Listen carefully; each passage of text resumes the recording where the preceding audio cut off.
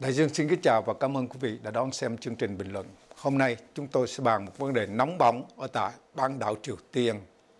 Kính thưa quý vị, ngày hôm nay tức là 23 tháng 4 thì Bình Nhưỡng tuyên bố sẽ đốt Hang Thành tức là thủ đô của Nam Hàn ra trò nếu họ có một động thái nào làm cho nguy hiểm đối với đất nước Triều Tiên.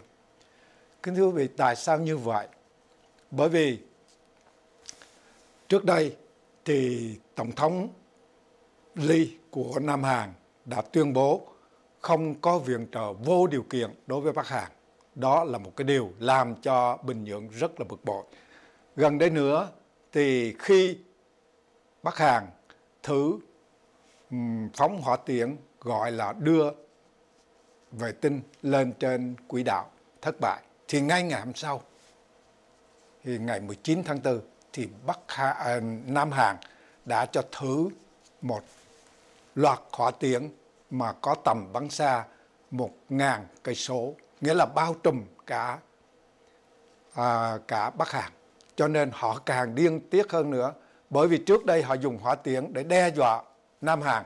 Nhưng mà ngày nay nếu Nam Hàn trả đũa thì không những không những ở tại Bình Nhưỡng mà có thể toàn bộ ở Bắc Triều Tiên cũng thành tro luôn.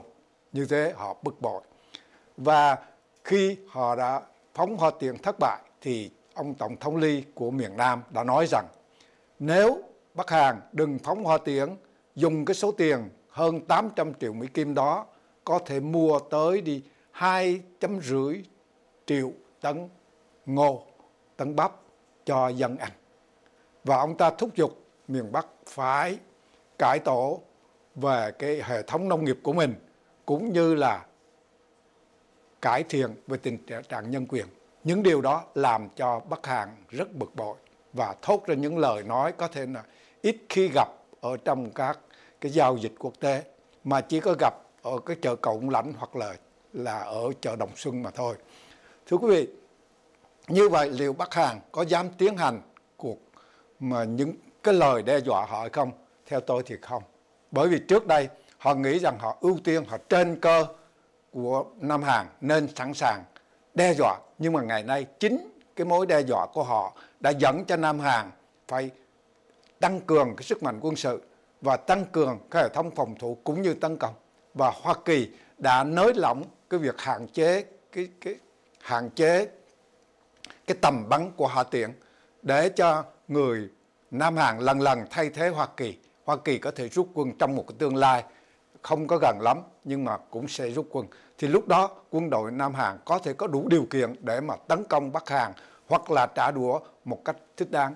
Do đó, tôi nghĩ rằng những cái lời đe dọa của Bắc Hàn này sẽ không làm cho ai sợ, mà ngược lại để chứng tỏ rằng Bắc Hàn càng ngày càng sợ đối thủ của mình ở miền Nam về trên mọi phương diện về à, kinh tế thì chúng ta không cần phải nói rồi nhưng mà rõ ràng về phương diện quân sự có thể bị tàn tàn phá nếu dám gây chiến với Nam Hàn. Cảm ơn quý vị đã đón xem.